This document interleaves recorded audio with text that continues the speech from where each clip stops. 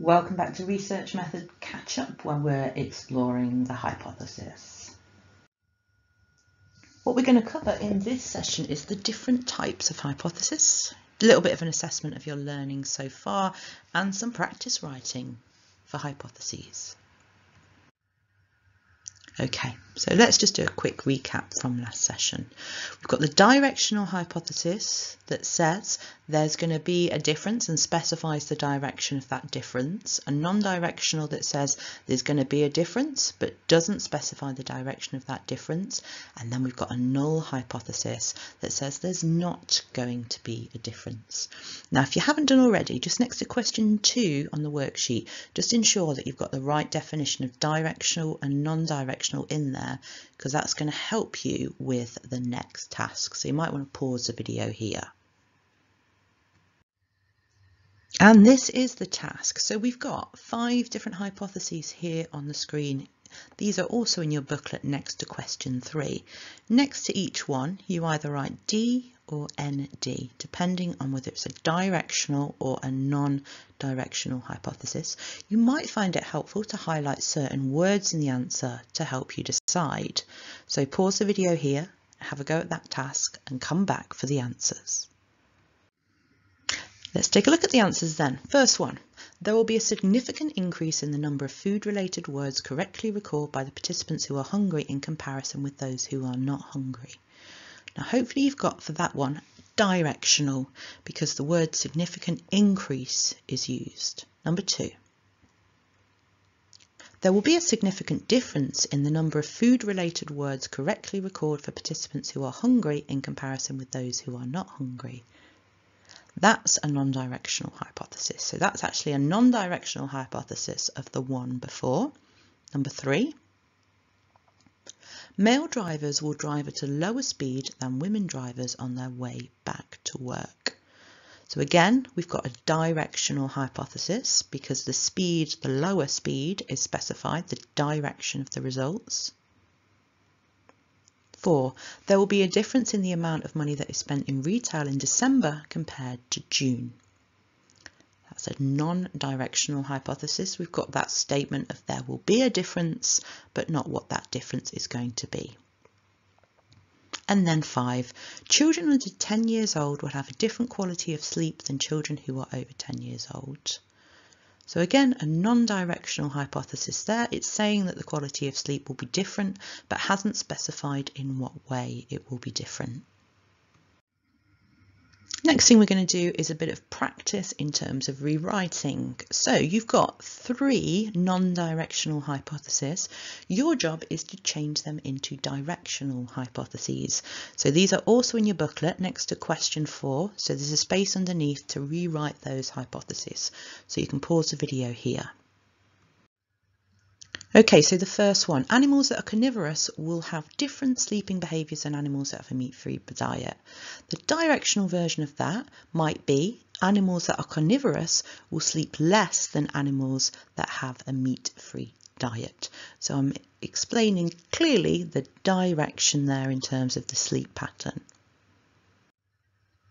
Next one, we started with there will be a difference in the amount of money that is spent in retail in December compared to June and then we change it to a directional by saying there will be more money spent in retail in December compared to June. So again, stating what the direction is.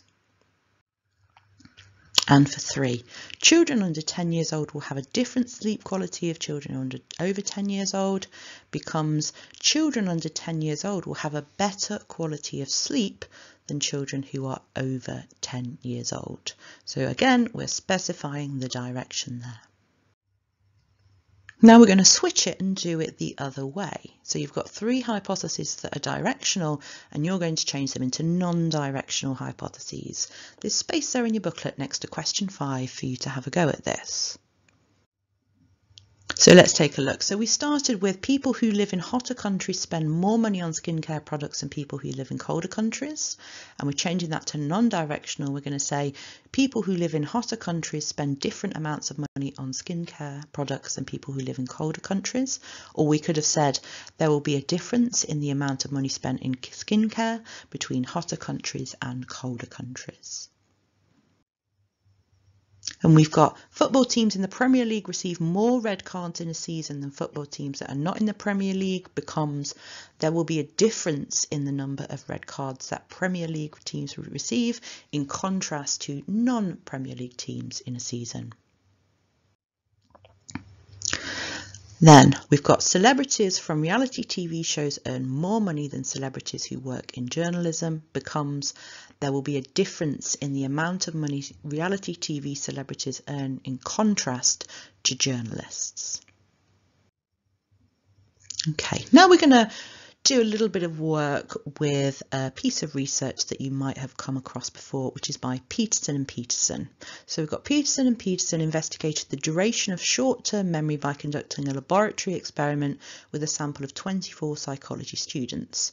The students had to recall meaningless three-letter trigrams, for example, THG, X, W, V, at different intervals 3, 6, 9, 12, 15 or 18 seconds to prevent rehearsal, the students had to count backwards in threes or fours from a specific number until they were asked to recall the letters.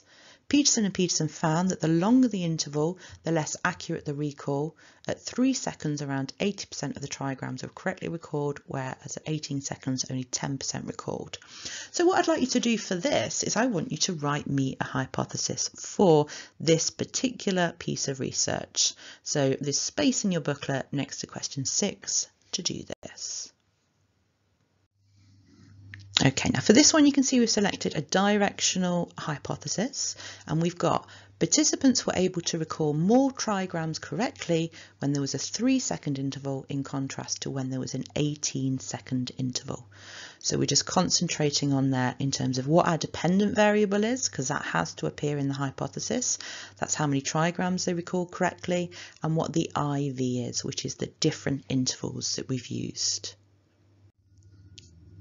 One from attachment this time. So we've got Isabella and Belsky hypotheses that caregiver baby pairs that develop secure attachment relationships would display more synchronous behaviour than babies with insecure relationships. Babies were observed at three and nine months and the secure group interacted in a well-timed, reciprocal and mutually rewarding manner. In contrast, caregiver baby pairs classed as insecure were characterised by interactions that were minimally involved, unresponsive and intrusive. So write me a hypothesis for this particular study. And the hypothesis that we've got this time is caregiver baby pairs that develop secure attachment relationships will display more synchronous behaviour than babies with insecure relationships. So clearly specifying the direction of the results there. Okay, I hope that session was useful and you got a lot of practice in for your hypotheses. Join us in the next session for more on hypotheses.